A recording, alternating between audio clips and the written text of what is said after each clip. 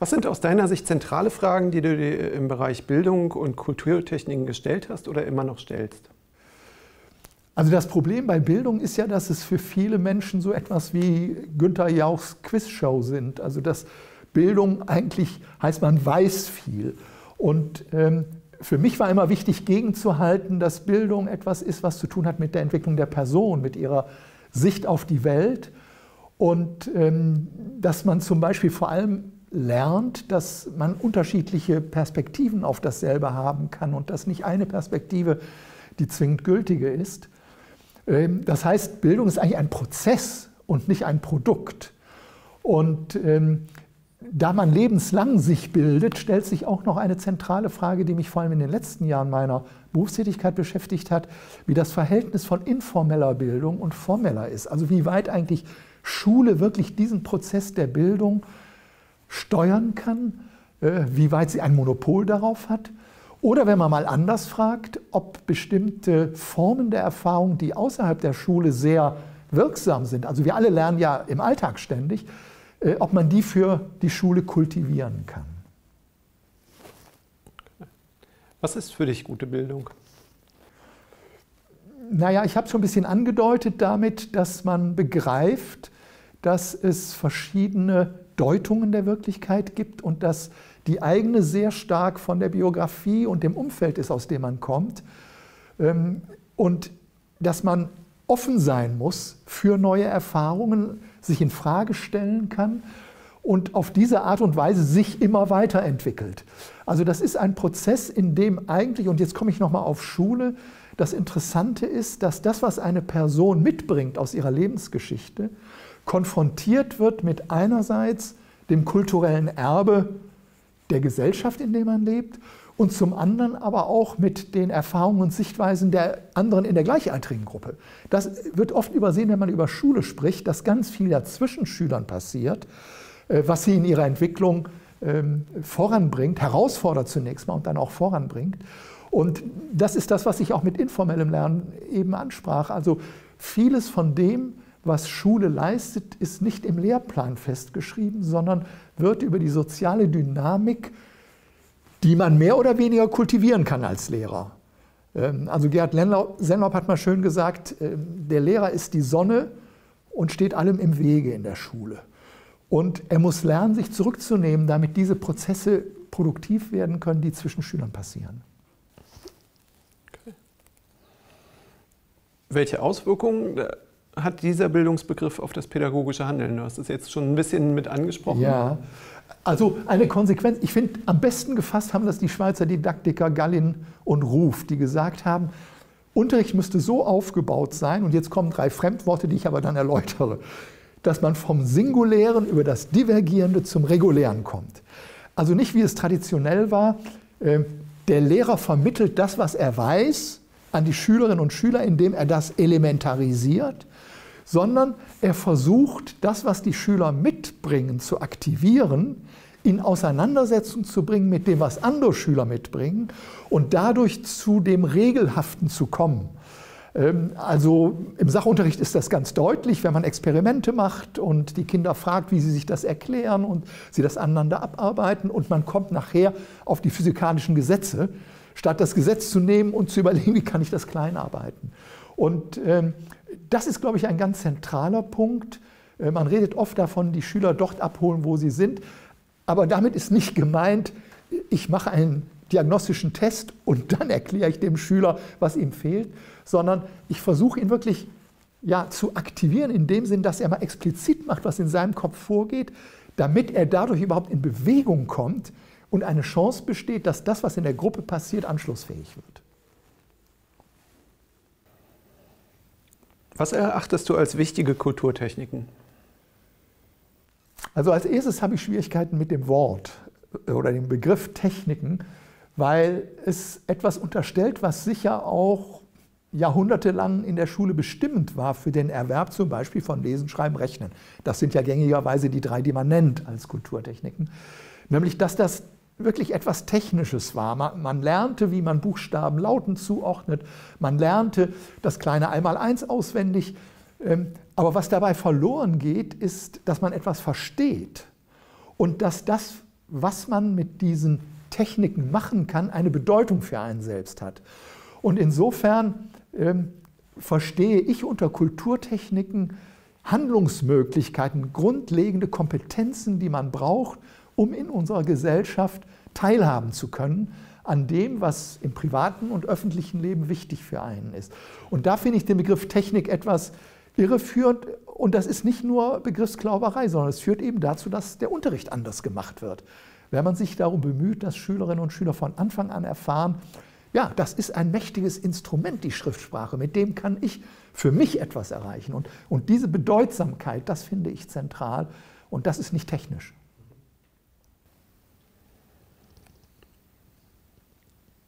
Für wie wichtig hältst du das Erlernen dieser Basiskompetenzen für Schülerinnen mit dem Förderschwerpunkt geistige Entwicklung? Ich habe ganz große Schwierigkeiten mit diesen Schubladen, weil für mich die Kompetenzniveaus eigentlich sich graduell unterscheiden und nicht qualitativ. Und von daher finde ich, dass natürlich jede Schülerin, jeder Schüler einen Zugang braucht zu den Symbolsystemen, die wir haben. Da sind die Zahlen das eine, da sind Buchstaben und Schrift das zweite. Ähm, aber es gibt ja auch noch andere Bilder ähm, oder Verkehrsschilder oder ähnliches. Und bei dem allen spielt Symbolverständnis eine Rolle und ich denke, das ist etwas, das jeder Mensch entwickelt, wie rudimentär auch immer. Und das Zweite ist, dass es dann Aufgabe der Schule ist, das, was die betreffende Person entwickelt hat, weiterzuentwickeln. Also ich sehe das als ein Kontinuum und das gilt völlig unabhängig von irgendwelchen Klassifikationen als behindert in einer bestimmten Art und Weise. Es geht darum zu sehen, wie weit ist dieses Symbolverständnis entwickelt und was können wir tun, dass diese Person unter den gegebenen Bedingungen möglichst weit kommt und entsprechend die Lernangebote für alle äh, auszugestalten. Denn wir haben ja große Unterschiede auch bei den sogenannten Regelschülern. Und auch da müssen wir sehen, wo knüpfen wir an. Und von daher macht es für mich keinen Unterschied. Und ich denke, ja, es ist ganz zentral, dass sie möglichst weit gefördert werden in diesem Bereich. Äh, und das kann, um ein Beispiel zu geben, bedeuten, dass das Kind dem Erwachsenen etwas diktiert und der Erwachsene schreibt es auf. Auch das ist Gebrauch der Schriftsprache und vermittelt dem Kind schon eine Vorstellung davon, was dieses Symbolsystem leistet. Dass es zum Beispiel Begriffe nicht abbildet, eins zu eins im Sinne, ein langes Wort steht für ein großes Tier oder so, sondern dass es einen Lautbezug gibt. Und solche Einsichten kann man Kindern vermitteln, indem man entsprechend sich einstellt auf ihre Voraussetzungen. Welche Anforderungen werden an Schülerinnen beim Erlernen des Schriftspracherwerbs gestellt? Ich habe das schon angedeutet, Schrift ist ein Symbolsystem und es ist ein doppeltes Symbolsystem, denn unsere Sprache symbolisiert Erfahrungen, Vorstellungen und die Schrift symbolisiert wiederum die Sprache. Hat, wie ich gerade gesagt habe, keinen direkten Bezug zum Gegenstand, der bezeichnet wird. Und das ist eine hohe Abstraktionsleistung, die erbracht werden muss. Das bedeutet zum Beispiel, dass gesprochene Sprache zum Gegenstand des eigenen Nachdenkens gemacht wird. Etwas, was man schon vorbereiten kann im Kindergarten mit Reimen, mit Anlautspielen und dergleichen, dass die Kinder nicht auf die Bedeutung achten, sondern auf die Lautform. Man muss über Sprachkompetenz verfügen. Das ist ja immer so schön, wenn man sagt Sinnentnahme aus einem Text, als ob aus den Buchstaben über die Lautung plötzlich die Bedeutung entsteht. Nein, wir haben Hypothesen, was der Text meint und wir kontrollieren diese Hypothesen, verifizieren sie an dem, was wir lesen. Also es ist ein hoher Anspruch im Hinblick auf Symbolverständnis und dann die besonderen Regeln dieses Symbolsystems Schriftsprache, die eben anders sind als Noten in der Musik oder Zahlen in der Mathematik. Warum hat die Rechtschreibung so einen hohen Stellenwert in unserer Gesellschaft? Wahrscheinlich kann man das nur historisch erklären, weil äh, früher es ja tatsächlich wichtig war, dass äh, die Leute, die in verantwortungsvollen Jobs waren, Schreiber hatten, die für sie Dinge aufgeschrieben haben. Und das musste möglichst korrekt sein. Und deshalb war das ein Beruf, der auch einen sozialen Status hatte gegenüber den Blaukragenarbeitern in der Fabrik. Es war also etwas, was sozial distinguiert hat. Wer Rechtschreibung beherrscht, war etwas Besseres. Äh, ich glaube, das spielt immer noch heute eine Rolle, dass sich damit Menschen voneinander abgrenzen und dass in der Gesellschaft damit soziale Zugehörigkeit ausgezeichnet wird. Und das andere ist, es ist einfach so schlicht zu prüfen. Also Rechtschreibfehler, das kann ein Dummy feststellen, wenn er eine Vorlage hat und das vergleicht. Und deshalb ist so kleines Einmaleins und Rechtschreibung, das sind so die Selektionshilfen äh, an den Stellen, wo es auch gerichtsfest sein muss und man relativ eindeutig nachprüfen kann, ist die Leistung erbracht oder nicht. Ich denke, dass Rechtschreibung in der Tat wichtig ist, weil Menschen sprechen ja alle unterschiedlich. Man muss ja nur einen Ostfriesen mit einem Bayern zusammenbringen. Wenn jeder so schreiben würde, wie er spricht, wäre das viel anstrengender zu lesen. Man könnte es lesen, aber es wäre anstrengender. Also vereinfacht die Rechtschreibung das Lesen und das Lesen ist eine zentrale, ein zentrales Medium in der Gesellschaft. Aber die Rechtschreibung hat eine dienende Funktion für dieses Textverstehen und das geht halt verloren in dem Moment, wo sie zum Selektionskriterium wird. Und das denke ich aus den zwei Gründen, die ich genannt habe. Wie kann ich Schülerinnen motivieren, diesen komplexen Aneignungsweg der Schriftsprache zu gehen? Ja, ich denke, da kommen wir zurück an den Anfang. Äh, sie müssen schon von der ersten Schulstunde an erleben, dass diese Schriftsprache für sie was Bedeutsames ist, dass es ihnen was nützt, dass es was zu tun hat mit den eigenen Erfahrungen und Vorstellungen, mit der Möglichkeit, die anderen mitzuteilen, dass sie über das Lesen an Dinge herankommen, die sie nie selbst erfahren würden, dass sie zum Beispiel die Eltern kontrollieren können, wenn es ums Fernsehprogramm geht und die Eltern behaupten, irgendetwas wäre gar nicht im Fernsehen, aber sie sagen können, das steht aber da. Also ich denke, das, was Schule leisten muss vom ersten Tag an, ist den Kindern Erfahrungen zu vermitteln. Hier hast du etwas, mit dem du selbstständiger wirst, unabhängiger wirst, mit dem du etwas bewirken kannst. Und deshalb ist für mich das freie Schreiben ein ganz zentraler Punkt. Ähm, das hat ja der Reformpädagoge Celestin Frenet sehr schön gesagt, Kindern das Wort geben. Also ihnen wirklich etwas in die Hand geben als Werkzeug, damit sie Dinge tun können, die sie sonst als die Kleinen gegenüber den Erwachsenen nicht tun können, wo sie bevormundet werden. Und äh, darum, ja, freies Schreiben als Möglichkeit, sich auszudrücken und sich anderen mitzuteilen. Was bedeutet, ich muss Fehler tolerieren? Und das ist eine interessante Diskussion in der Didaktik, weil wir reden immer von Vereinfachung. Und gängigerweise verstehen wir unter Vereinfachung, dass wir das komplexe System in viele kleine Bröckchen zerteilen, die wir sozusagen wie eine Diät dem äh, noch nicht so ganz funktionsfähigen jungen Menschen vermitteln. Und ich denke, wir vereinfachen, indem wir dem Kind die Möglichkeit geben, auf seinem Niveau zu schreiben und seine Fehler tolerieren. Also beides sind Formen der Vereinfachung, die aber ganz andere Konsequenzen haben. In einem Fall ist es etwas Fremdbestimmtes, ich bin abhängig von dem, was der andere mir gibt. Und im anderen Fall vereinfache ich selber. Und das ist das Tolle an diesem Ansatz, der ja von vielen Reformpädagogen schon vor 100 Jahren realisiert wurde, Kinder selbst schreiben zu lassen, was aber bedeutet, wir müssen dann Formen finden, in denen wir ihnen helfen, dass das auch für andere lesbar wird. Du hast es schon kurz angerissen. Die Bandbreite der Erfahrungen mit Schrift, mit der Kinder in die Schule kommen, ist ja sehr groß. Kannst du sie vielleicht kurz darstellen? Ja, also es kommen Kinder in die Schule, die können schon lesen und die können zumindest lautorientiert schreiben. Das heißt, die können alles, was sie schreiben wollen, in einer für anderen mit gutem Willen erlesbaren Form schreiben. Und es gibt andere Kinder, die haben noch keine Buchstaben bewusst wahrgenommen. Die können zum Beispiel nicht ihren eigenen Namen schreiben, die können keine Buchstaben benennen. Und wenn wir so aus Studien das mal abbilden auf die Durchschnittsentwicklung eines Kindes, dann entspricht das etwa so einem viereinhalbjährigen im Vergleich zu einem siebeneinhalbjährigen Kind.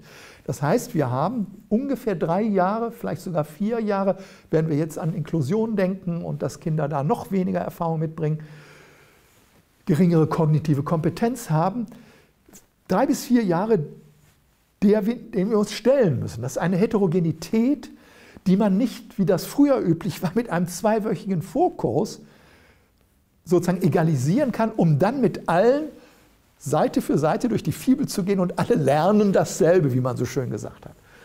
Und das ist eine immense Anforderung schon in diesem ganz konkreten Bereich. Hinzu kommt, das Lernen ja nicht nur abhängt von dem, was man über den Gegenstand weiß, sondern aus was für einem sozialen Milieu kommt man, was für eine Muttersprache habe ich, auch welches Geschlecht habe ich. Also in unserer Gesellschaft ist ganz deutlich, dass Schriftsprache eher etwas ist, was von Frauen beherrscht wird. Also wir müssen uns nur Leseleistungen angucken, Rechtschreibleistungen während der Grundschul- und Sekundarstufzeit. Aber auch wenn wir uns Erwachsene angucken, was so Lesehäufigkeit betrifft, dann ist das auch geschlechtsspezifisch. Und das hat auch eine Auswirkung darauf, wie sich zum Beispiel Kinder dann in der Schule dem Gegenstand stellen. Das ist mal so beispielhaft aufgerissen, das Spektrum an Heterogenität. Wie kann es dann gelingen, all diesen Kindern gerecht zu werden? Ich denke nicht, indem wir differenzieren, wie das so schön heißt.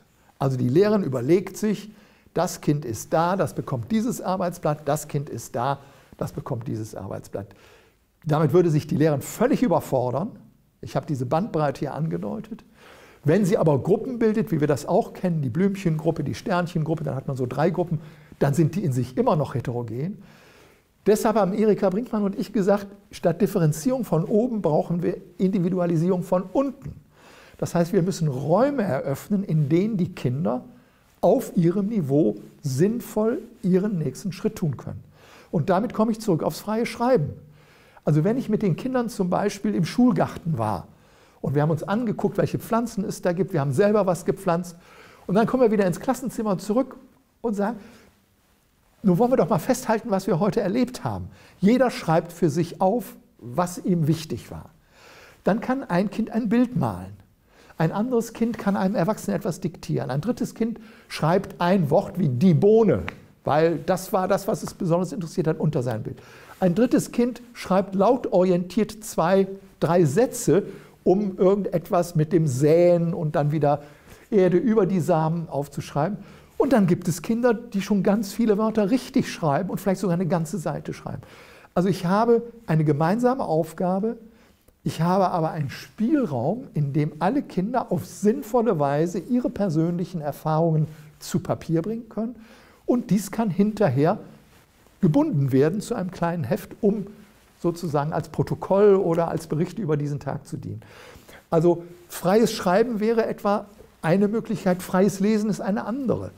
Ähm, also wenn man mit Kindern zum Beispiel in eine Bibliothek geht, eine Bücherei, äh, und sie selber suchen lässt, was sie interessiert, dann findet man, dass sich die Kinder schon vom Thema her ganz unterschiedliche Bücher aussuchen. Aber es gibt auch die, die suchen sich die mit den vielen Bildern und andere suchen sich eher welche mit mehr Schrift.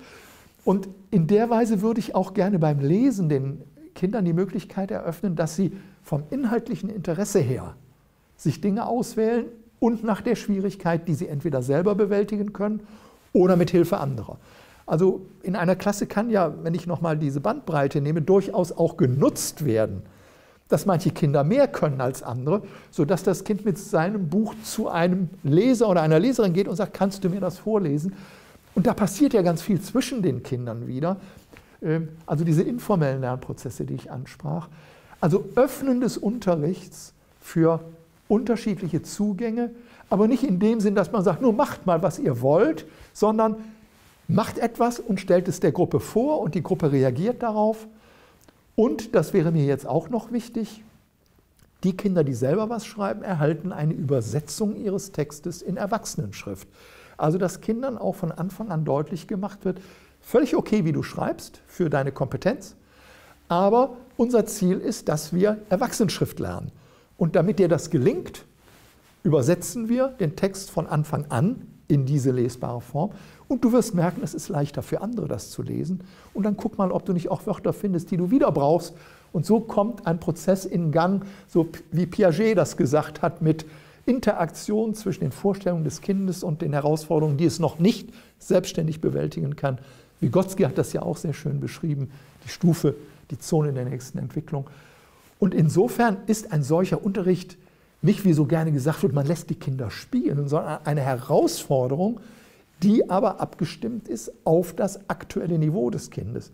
Und diese Abstimmung macht das Kind selber. Das, das ist das Spannende und das Entlastende für Lehrerinnen, die sonst völlig überfordert sind mit diesen 25 verschiedenen Entwicklungsständen. In Diskussionen in der Deutschdidaktik äh, werden die unterschiedlichen Zugänge zum Schriftspracherwerb ja mit einer besonderen Vehemenz vertreten. Welche Bedeutung haben die unterschiedlichen Zugänge aus deiner Sicht? Also die liegen auf verschiedenen Ebenen. Ähm, grundsätzlich, ich habe das ja schon eingangs erwähnt, gibt es die, die eher denken, man muss die Fachstruktur gut verstehen und sie dann elementarisieren und den Schülerinnen und Schülern sozusagen in Häppchenform vermitteln. Und es gibt die anderen, die sagen, man muss aktivieren, was Schüler mitbringen und ihnen den nächsten Schritt ermöglichen. Und das hat dann Konsequenzen für die Art, wie Unterricht auch gemacht wird. Also ist das ein Lehrgang in kleinen Schritten, der vorgeschrieben ist? Oder ist das, wie eben skizziert, so eine offene Situation, in der man agiert? Also da Spracherfahrungsansatz für diese offenen Situationen und Fibellehrgänge auf der anderen Seite repräsentieren diese Ansätze. Aber innerhalb der Fibellehrgänge gibt es ja die silbenanalytischen etwa, die anders vorgehen als die ähm, einzelheitlich orientierten oder analytisch-synthetischen. Und auch beim Spracherfahrungsansatz gibt es Unterschiede, wie stark zum Beispiel die Normschreibung schon am Anfang präsent ist oder nicht. Also auf der methodischen Ebene, denke ich, äh, haben verschiedene Ansätze durchaus Formate, die man untereinander austauschen kann, also nutzen kann. Aber wo es Unterschiede gibt, die schwer verhandelbar sind, das ist in der Haltung, in, in der Grundposition, wie verstehe ich Lernen von Kindern und wie sehe ich Schule als ein Ort des Aufwachsens in einer demokratischen Gesellschaft. Und da ist für mich eben sehr schwer zu akzeptieren, dass die Lehrperson sich betrachtet als der Quell allen Wissens, der auch noch bestimmt, wie dieses Wissen angeeignet wird, in methodischer Hinsicht. Da finde ich, gibt es Abgrenzungen, die notwendig sind. Aber was konkrete, zum Beispiel auch Ideen etwa der silbenanalytischen Methode, kann man im Rahmen des Sprachenerfahrungsansatzes nutzen. Und ähm, man kann natürlich auch bei einer Fibel nutzen, das freie Schreiben als eine Möglichkeit, die man in bestimmten Fällen. Also da denke ich, ist viel an Voneinanderlernen möglich. Aber wichtig ist, sich klarzumachen, was ist eigentlich meine Grundposition zu Schule, zum Lernen von Kindern, was für eine Lerntheorie habe ich. Und da ist es schwierig ähm, zu sagen, es gibt den goldenen Mittelweg. Inwieweit sollten sich Lehrkräfte, Schulen oder auch ganze Bundesländer für ein bestimmtes Modell entscheiden aus deiner Sicht? Also als ich ein junger äh, Wissenschaftler war, hatte ich die Vorstellung, ich hätte das Ei des Kolumbus gefunden und das müsste ich jetzt allen vermitteln. Ich habe gelernt zwei Dinge. Erstens, dass Lehrerinnen und Lehrer mit ganz unterschiedlichen Ansätzen Kindern erfolgreich Lesen und Schreiben beibringen. Und zweitens, dass Menschen, die mit meinem Ansatz oder auch mit dem einer Kollegin oder eines Kollegen arbeiten, das sehr unterschiedlich machen. Also mir stellt sich die Frage, erstens, gäbe es ein, wirklich eine empirische Grundlage, um zu sagen, dies ist das richtige Konzept? Nach allem, was ich aus der Forschung weiß, gibt es das nicht. Denn, und das ist dann das zweite Argument, innerhalb eines jeden Ansatzes ist die Streuung so breit, dass offensichtlich nicht das Konzept steuert, was da passiert. Das ist ein Impuls, das ist eine Kraft in diesem Kraftfeld. Aber da kommt so viel anderes dazu, dass wenn man in zwei Klassenzimmer derselben Schule geht, die nebeneinander liegen, die arbeiten mit demselben Lehrgang, man verblüfft ist, wie unterschiedlich der Unterricht aussieht. Mir ist wichtig, dass die Kolleginnen und Kollegen verstehen, was sie da tun dass sie wissen, warum ist ein Konzept so entwickelt, ein Lehrgang so aufgebaut, eine Aufgabe so methodisch ausgestaltet. Und dass sie nicht einfach, was ich auch erlebe, im Lehrerzimmer aus verschiedenen Lehrgängen beliebig Arbeitsblätter kopieren, weil es da um den Laut geht. Und die aber ganz verschiedene Hintergründe haben und die Aufgaben auf was ganz unterschiedliches zielen. Also Wichtig ist verstehen, erklären, begründen können, warum man das macht. Und, das wäre mein zweiter Wunsch, sich zu öffnen und zu gucken, was machen andere, kann ich davon lernen. Ich habe ja viele Vorträge gehalten vor Lehrern und Lehrern auf Fortbildungen, wo ich den Spracherfahrungsansatz mit dem freien Schreiben vorgestellt habe. Und immer wieder, wenn der Kurs oder das Seminar zu Ende war, kamen Leute zu mir und sprachen mich möglichst leise an und sagten, Herr Brügelmann, wir wissen ja, dass Sie nicht für Fibeln sind. Aber wenn Sie eine Fibel nehmen müssten, welche würden Sie dann nehmen? Und dann habe ich gesagt, das ist ganz einfach, eine andere. Und dann guckten die mich völlig irritiert an und dann habe ich gesagt, ja, es gibt nicht die Fibel, die das Rezept darstellt. Aber Sie als Lehrer oder Lehrerin können etwas daraus lernen, dass Sie mit möglichst unterschiedlichen Konzepten oder Lehrgängen arbeiten, weil Sie selber sich entwickeln dabei. Für die Kinder gibt es nicht die Patentlösung. Aber Sie sind auf alle Fälle noch nicht so weit, dass Sie nicht mehr lernen könnten. Also nutzen Sie die Chance, was Neues zu lernen. Und ich glaube, das ist das eigentlich Wichtige, dass wir statt zu sagen, wir schreiben Konzepte vor, Methoden vor, Lehrerfortbildung aktivieren. Äh, und zwar in Formen, in denen zum Beispiel Lehrerinnen zusammenkommen aus verschiedenen Schulen, einen Nachmittag oder einen Tag zusammenarbeiten, wieder in die Schule gehen, das ausprobieren, zurückkommen. Also dass wir diese Rückkopplung haben, ähm, wo wir nicht ein Feuerwerk abbrennen in der Fortbildung und dann gehen in die Schule und stehen plötzlich vor den Alltagsproblemen und da bräuchten sie Hilfe. Das zentrale Problem ist die Umsetzung. Wie kann ich sinnvoll mit einem Konzept, mit einem Lehrgang unter bestimmten Bedingungen bei Kindern mit bestimmten Problemen etwas erreichen oder worauf muss ich vorbereitet sein als Schwierigkeit? Erika Brinkmann und du haben dafür ein Vier-Säulen-Modell als Organisationsrahmen ja. für den Unterricht systematisiert. Kannst du das näher erklären? Ja, wir haben versucht, das zu machen, was ich jetzt als Anspruch an Lehrerinnen und Lehrer formuliert habe, nämlich mal zu gucken, was gibt es an bedeutsamen methodischen Formaten, die sich ergänzen können. Und haben versucht, das in einen nicht nur organisatorischen Rahmen, sondern einen didaktischen und pädagogisch gedachten Rahmen zu bringen. Wir haben gesagt, freies Schreiben und freies Lesen, wie ich es bereits erwähnt habe, das sind eigentlich die zwei tragenden Säulen. Dann brauchen aber auch Kinder Einführungen in zum Beispiel Werkzeuge wie eine Anlauttabelle oder die Arbeit mit, dem fünf, mit der Fünf-Fächer-Kartei. Wie übt man eigentlich Wörter geschickt, die man lernen will? Also es muss Situationen geben, in, die in der die Lehrerin mit der Lerngruppe oder mit Teilgruppen, wenn einige es schon verstanden haben, gezielt Werkzeuge erarbeitet, Arbeitsformen erarbeitet. Äh, zum Beispiel die ganz simple Sache, äh, wie präge ich mir ein Wort ein? Nicht indem ich drauf gucke und es Buchstabe für Buchstabe abschreibe, sondern indem ich drauf gucke und sage, was ist schwierig an dem Wort? Ah, ich muss aufpassen, das SZ. Dann drehe ich die Karte um und schreibe das Wort aus dem Kopf auf und dann vergleiche ich, korrigiere und dann kommt das Wort, wenn es richtig war, nach hinten in die Kartei, wenn ich es falsch geschrieben habe, nach vorne, damit ich es schnell wieder. Also solche Dinge, die muss man gemeinsam erarbeiten mit der Gruppe. Und dann ist es so, das Lesen und das Schreiben als Handlungen werden nur dann funktionieren, wenn die niedrigrangigen Teilkompetenzen, also zum Beispiel häufige Wörter auf einen Blick erkennen oder Buchstabenlautzuordnung automatisieren, wenn das so eingeübt ist, dass ich es nicht bewusst praktizieren muss. Also braucht man so etwas wie Übungsformen. Die beste Übungsform ist viel zu lesen und viel zu schreiben. Aber die ist auch in gewissem Sinn zufällig und die hat natürlich Probleme in dem Sinne, dass gerade diejenigen, die noch nicht viel können, auch nicht viel lesen, also auch nicht viel entwickeln.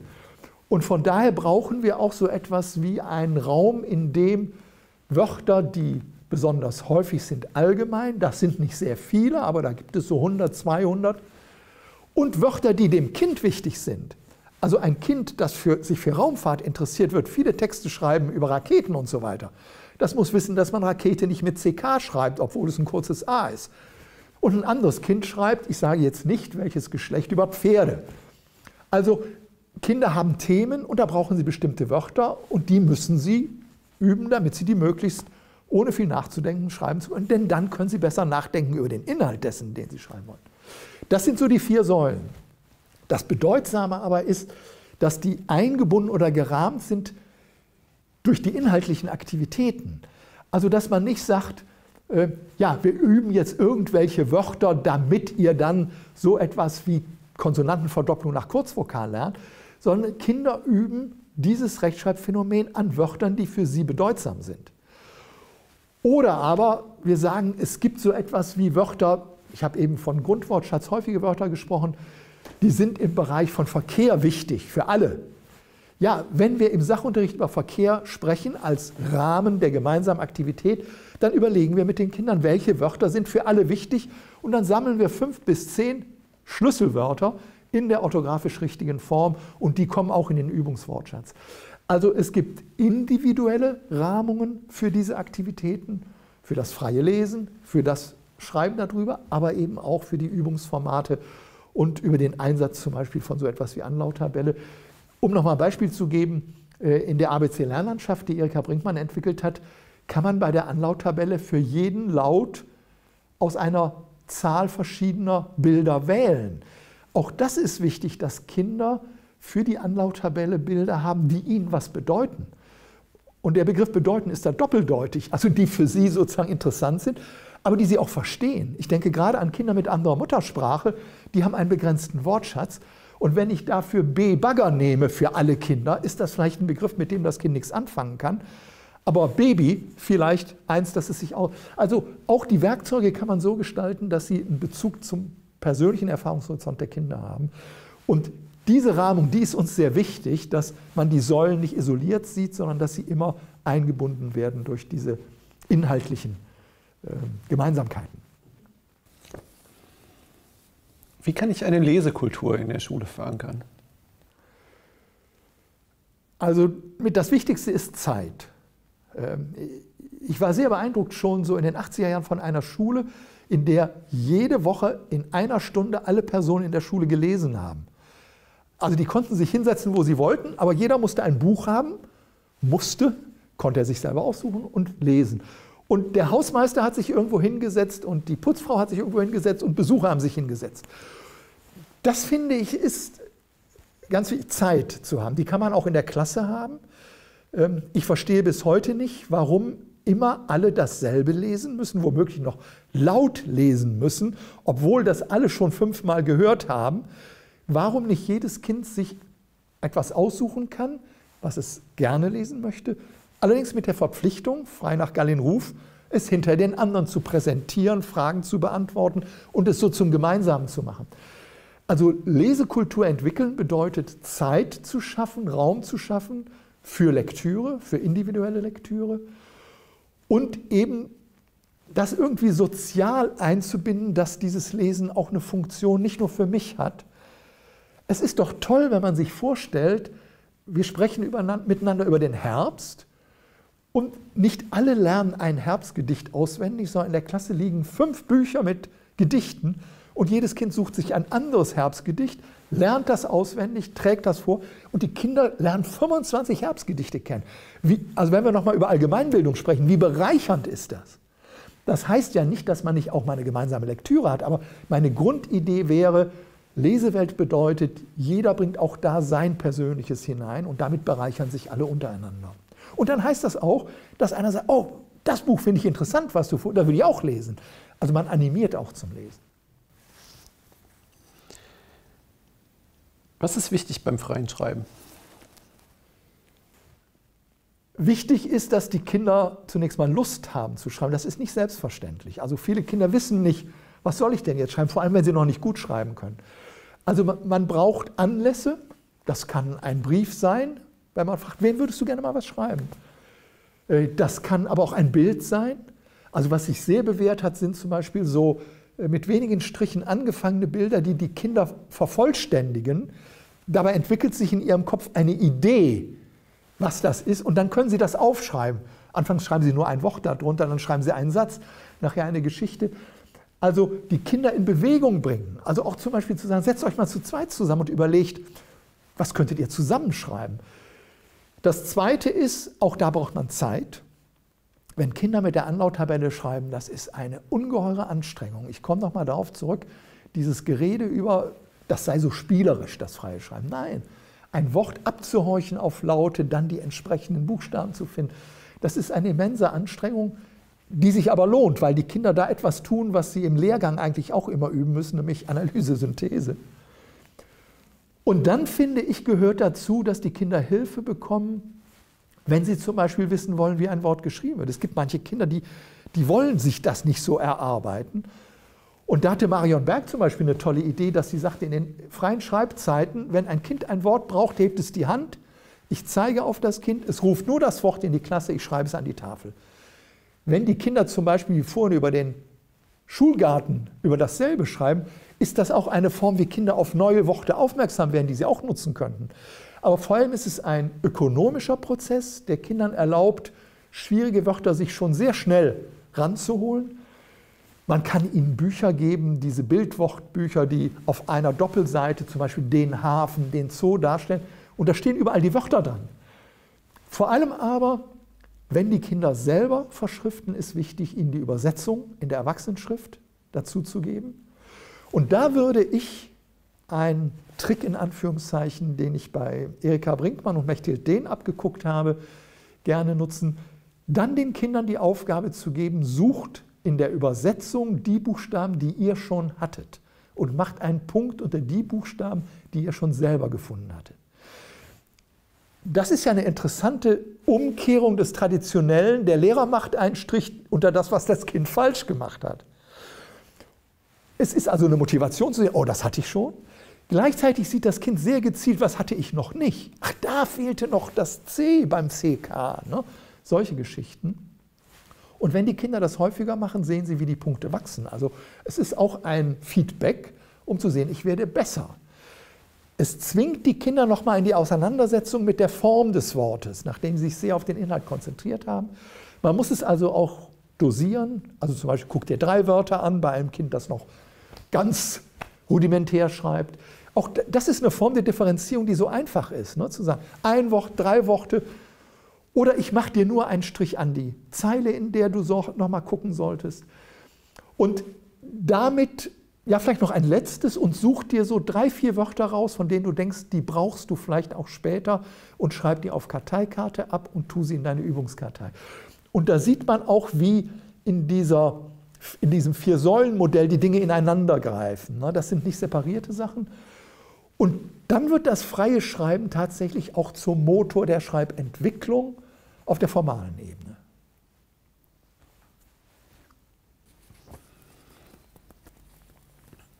Das freie Schreiben und äh, auch gerade das lautorientierte Schreiben stehen ja häufig in der Kritik. Was sagt die Empirie dazu? Äh, da muss man zwei Stränge der Empirie unterscheiden. Das erste ist, dass man in Schulen geht und sich anguckt, wie schneiden Kinder, die nach dem einen Ansatz und dem anderen Ansatz gelernt haben, ab. Und das Ergebnis ist durchweg, Ende vierter Klasse findet man eigentlich keine bedeutsamen Unterschiede. Man findet sehr unterschiedliche Entwicklungsschritte. Zum Beispiel Kinder, die frei schreiben, sind am Anfang oft weiter als die, die mit dem Fibellehrgang arbeiten. Im Rahmen des Grundwortschatzes sind wieder eher Fibelkinder weiter, weil das geübte Wörter sind, aber sobald es fremde Wörter sind, wissen sie nicht, wie sie es tun sollen. Die große Schwierigkeit hatte ich ja vorhin angedeutet, wie rechnet man Leistungen Ende vierter Klasse einer Methode in der ersten Klasse zu, wenn schon die Lehrer in der ersten Klasse, die angeblich nach demselben Ansatz arbeiten, das so unterschiedlich machen, aber dann zusätzlich in Klasse 2 bis 4 ja auch noch ganz anderes passiert. Also man kann da eigentlich nicht direkte Wenn-Dann-Beziehungen machen. Deshalb muss man eigentlich zurückgreifen auf experimentelle Studien. Da gibt es inzwischen eine ganze Reihe aus verschiedenen Ländern, die zeigen, wenn Kinder selbstständig schreiben dürfen, lautorientiert verschriften dürfen und eine Rückmeldung bekommen, nicht in dem Sinn, was hast du alles falsch gemacht, so musst du es eigentlich richtig machen, übe die Wörter dreimal, sondern wie ich eben gesagt habe mit der Erwachsenenschrift, dann ist das ein sehr effektiver Einstieg in den Schriftspracherwerb. Das ist auch schon in den USA in den 1900er Jahren festgestellt worden. Es gibt eine Meta-Analyse von einem National Panel für Literacy 2006 oder 2008, die gezeigt haben, dass das eine der effektivsten Formen des Einstiegs ist. Und wichtig ist immer deutlich zu machen, es geht um diese Anfangsphase. Und es ist wichtig, dass Kinder A von Anfang an wissen, es gibt Erwachsenenschrift, B, ich muss sie noch nicht können und C, ich werde Schritt für Schritt dann aber auch dorthin geführt. Also nicht das, was wir auch kennen, schreibt mal, keiner interessiert sich dafür, denn das ist ja auch so ein Problem, wenn die Kinder einfach schreiben und das verschwindet in irgendeinem Hefter, dann äh, welche Motivation habe ich, das richtig zu machen? Also wichtig ist die Einbettung, von der ich vorhin gesprochen habe. Dann aber kann man sagen, ist das eine effektive Form, um die Motivation zu stärken, um ganz schlicht methodisch die Kinder in diese Analyse-Synthese-Prozesse zu verwickeln mit einer Intensität, die sie oft im Fibellehrgang nicht machen. Und damit, wenn man es dann ergänzt um die vorhin genannten orthografisch orientierten Aktivitäten, die so zweite Hälfte, erste Klasse zunehmen und dann in der zweiten, dritten, vierten sehr bestimmt werden, dann ist das eine der besten Formen, die man sich denken kann. Aber wie gesagt, beweisen kann man es nicht. Das ist das Problem, weil es so schwer ist, empirische Studien im Schulalltag zu machen. Mhm. Jetzt stellt sich mir natürlich nochmal die Frage, wenn ich äh, Unterschiede von bis zu drei Jahren in den Eingangsvoraussetzungen habe, ja. Äh, an welcher Stelle sage ich denn dann, meine Erwartungshaltung an das Kind ist, jetzt aber überzugehen äh, in die normgerechte Schreibung und äh, wo setze ich dann sozusagen an? Wann, äh, wann ist der Punkt, wo, ja. wo dann das klassische Modell irgendwie wieder, ich möchte doch, dass es äh, rechtschreibkonform geschrieben wird, äh, greift. Und wie kann das auch in den, in den weiterführenden Jahrgängen dann aussehen? Weil ja spätestens, äh, sagen wir, in der, in der Oberschule äh, ist ja klar, wenn du nicht rechtschreibkonform schreibst, hast du ein gravierendes Problem im Deutschunterricht. Richtig.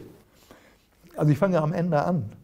Äh, das Problem haben wir jetzt wo alle nach der Fibel lernen. Es ist ja nicht so, dass der Fibelunterricht und dann die Rechtschreiblehrgänge dazu geführt hätten, dass alle am Ende der vierten Klasse die Rechtschreibung können. Ja. Wir haben die Heterogenität ja. immer gehabt. Ja. Erster Teil der Frage.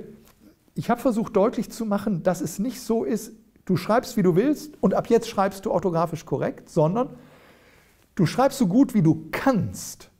Und ich gebe dir die Rückmeldung und versuche dir deinen nächsten Schritt schon jetzt zu ermöglichen. Und diese nächsten Schritte sehen bei verschiedenen Kindern unterschiedlich aus, aber sie führen bei allen in dieselbe Richtung. Sie führen bei allen über dieselben methodischen Formate. Erwachsenenschrift, Punkte machen unter Buchstaben, Wörter übernehmen in die Kartei. Was ich nicht erwähnt habe, waren die Rechtschreibgespräche, die dann in der Klasse stattfinden. Auch eine interessante Form. Alle machen, also es wird ein Wort diktiert, jeder versucht es so gut aufzuschreiben, wie er es kann und dann werden die Schreibweisen in die Diskussion gebracht. Also ganz nach Gallin-Ruf wieder. Singulär, divergierend, wird darüber diskutiert, warum machst du da ein Doppel-M, warum hast du ein Dehnungs-H und so weiter. Und dann wird das Wort am Ende richtig an der Tafel festgehalten und die Kinder schreiben es nochmal bei sich auf. Und dabei haben sie immer den Bezug auf das Rechtschreibplakat mit vier Grundstrategien und Faustregeln auf die immer wieder verwiesen wird, bei jedem neuen Wort. Das heißt, über die ganze Grundschulzeit hinweg wird ständig Rechtschreibung thematisiert, an immer neuen Wörtern. Und die Kinder nehmen auf ihrem Entwicklungsstand teil an dem Gespräch. Manche hören auch nur zu. Und ich kann nie sagen, jetzt ist das Dehnungshaar erledigt. Aber ich schaffe immer wieder Einstiege dafür. Und das Wichtige ist, dass die Kinder diese Chance haben, neu einzusteigen und da wird es nie den Punkt geben, wo ich sagen kann, alle sind auf einem Niveau. Es wird auch nie den Punkt geben, wo ich sage, ab jetzt toleriere ich keine Fehler mehr. Aber den hat es auch am Anfang nicht gegeben, dass ich gesagt habe, es sei mir egal, wie du schreibst. Ich glaube, das ist wichtig zu betonen.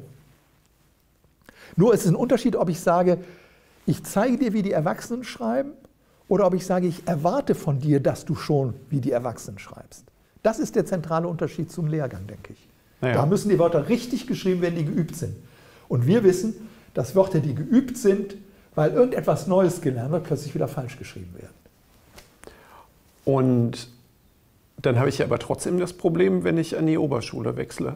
Ja, das Problem hatte ich immer. Das, äh, ja, aber Und, äh, was, äh, was können wir da machen? Äh, wir, wir, kämpfen dafür, dass die Oberschulen das lernen, was die Grundschule mühsam in den 80er Jahren gelernt hat. Die Kinder, die zu ihnen kommen, sind verschieden. Und das hat die Grundschule viel Schweiß gekostet und ich behaupte, bis heute gibt es viele Grundschulen, die es immer noch nicht begriffen haben, die immer noch die Kinder im Gleichschritt durch Fibeln marschieren lassen, trotz der drei bis vier Jahre Unterschied. Und das ist schrecklich. Und das ist unsere Aufgabe, dafür zu arbeiten, dass schon die Studierenden das begreifen, dass es so nicht geht und dass es dann über Fortbildungen auch immer wieder an die Lehrerinnen und Lehrer gebracht wird, auch in der Sekundarstufe.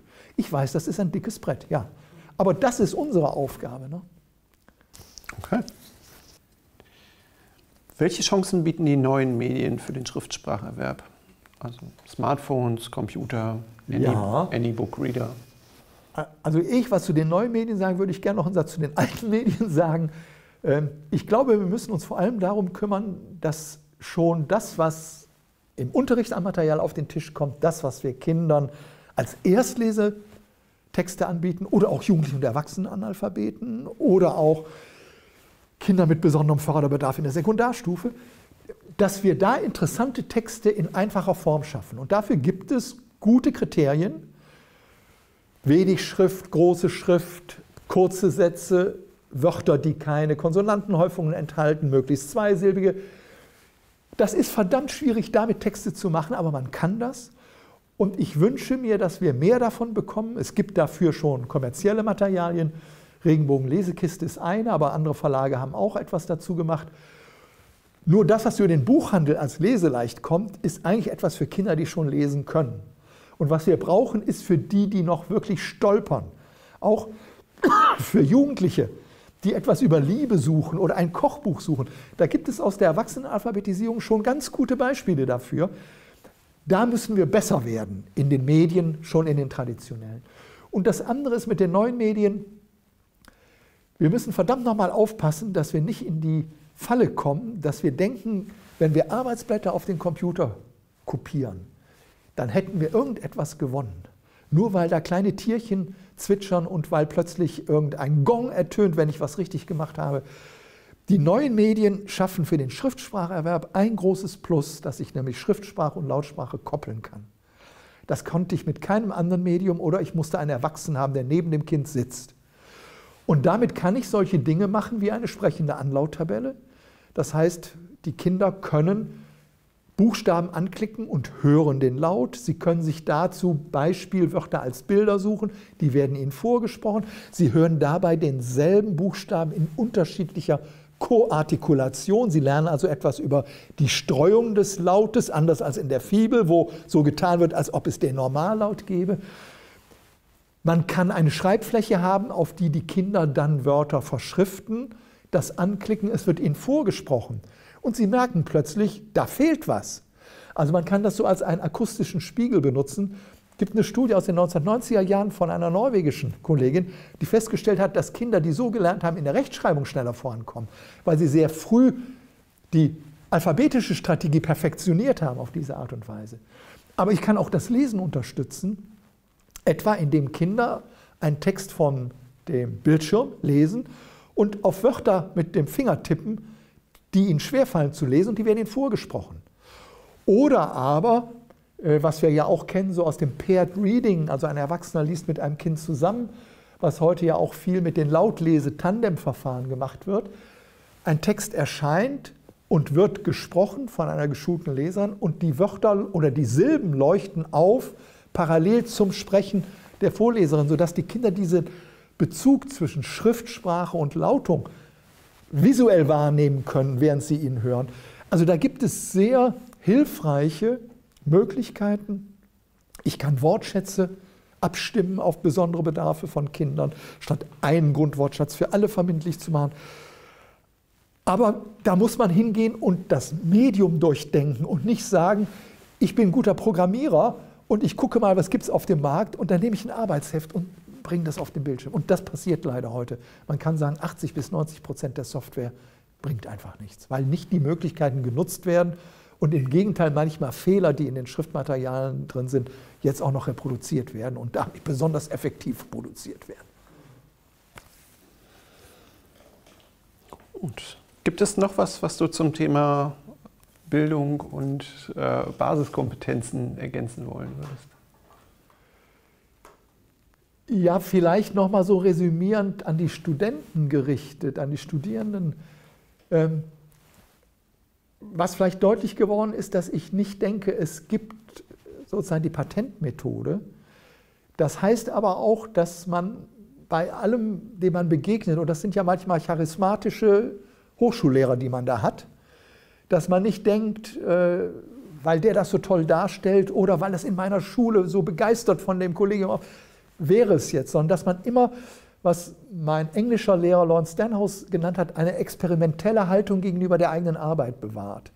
Also sich immer klar ist, alles, was ich tue, ist Hypothese. Ich kann vor der Unterrichtsstunde nie sagen, was das Beste ist. Ich kann sagen, ich habe eine gut begründete Hypothese, aber ich muss offen sein für das, was passiert und ich muss diese Hypothese differenzieren, relativieren, überprüfen. Also diese Grundhaltung gegenüber dem eigenen Beruf, ich muss bis zur Pensionierung dazulernen. Und das andere ist, ich, ich wünsche mir, dass es nicht um Methodenstreit so sehr geht, sondern dass wir mir über die pädagogische Grundhaltung reden.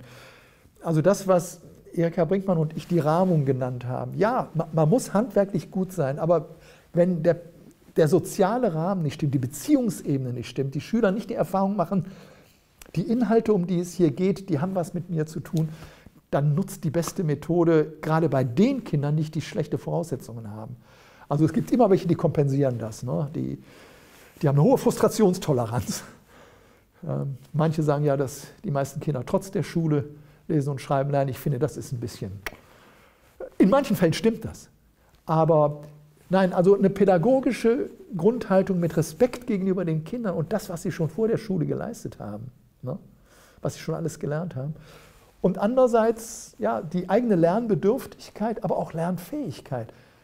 Mich haben immer Lehrerinnen beeindruckt, die so vier Jahre vor der Pensionierung noch mal eine erste Klasse kriegen und sagen, und jetzt will ich noch mal was ganz anderes probieren. Ich habe mich das nie getraut.